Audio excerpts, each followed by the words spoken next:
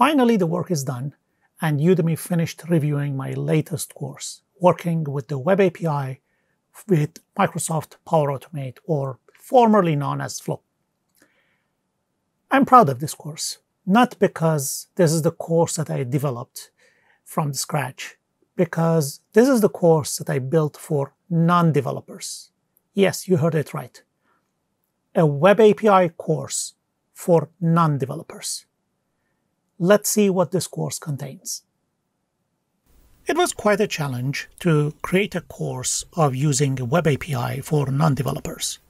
So this is how I decided to do that. My assumption is that most of people that they want to use Power Automate used to be developers long, long, long time ago. Now they are either managers, directors, and they want to use the power of new platform, but they don't know where to start.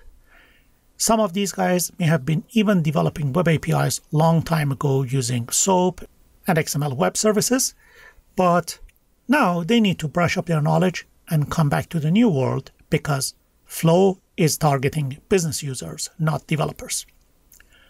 So this is how the course goes. You know what? Let's forget about this page. Let me show you what this course really contains.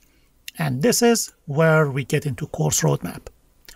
The course starts with understanding Web API. Assuming that non-developers, they don't even know what Web API is we have a quick review of what Web API is and how it can help us solve the problems and what are the typical scenarios for Web APIs consumption and what are the scenarios that we actually use Web APIs. This chapter starts from basic and completely explains Web API in layman language. It doesn't mean that people who have been developers, they don't need to go through this course, but it has essentials that you need to know before you start building or consuming web APIs with Microsoft Power Automate. After we understand what we are going to build, we go through creating the web API using Power Automate. Flow provides a very easy to use environment to create web API as long as you know the game rules, which we learned in understanding the web API. So we learn the game rules here we start building our own web APIs, which is going to be very easy yet exciting for people that they haven't done this before, especially. Of course, developers that they have done this before many times, they realize that, okay, they just need to match their previous knowledge with the elements and components that we have here. After creating our own web APIs, we take it to the next level and start consuming the APIs that the other developers have built for us. Some of these web services are somewhere outside that we don't know where they are, and some of these web APIs are developed by our own corporate developers because Flow couldn't do something and we asked them to code it for us. Regardless, we learn how to create web API. We also learn how to consume web API. You guessed it right we will also call the web APIs that we created ourselves using Power Automate from another flow in the Power Automate. And that is going to happen in the last chapter, which is real life examples of web APIs and Power Automate.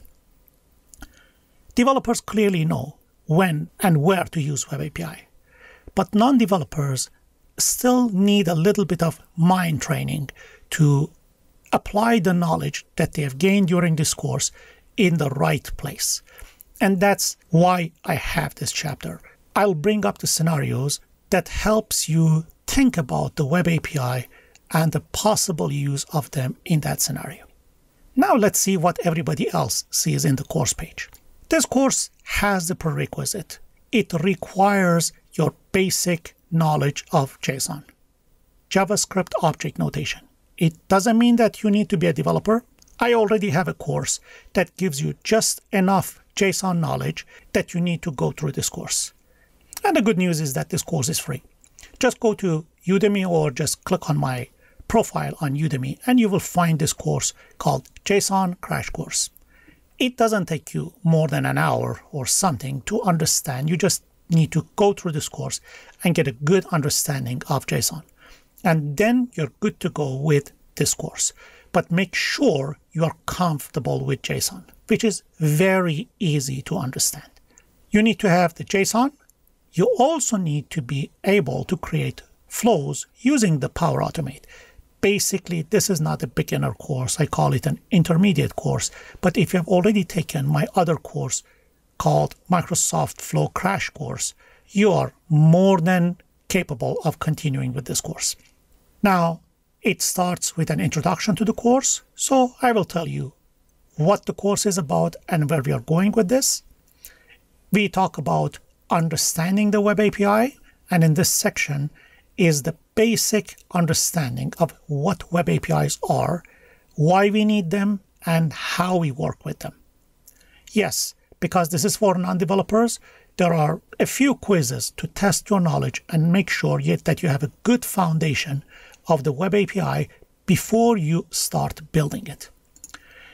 Next chapter is going to be creating Web APIs. So creating the Web APIs using the Power Automate, using different methods, get, post, patch, and delete.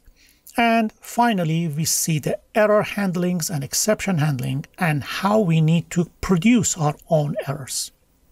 After we create our own Web API, we need to learn how to consume the web APIs that are provided by third parties and all the other companies that we need to communicate.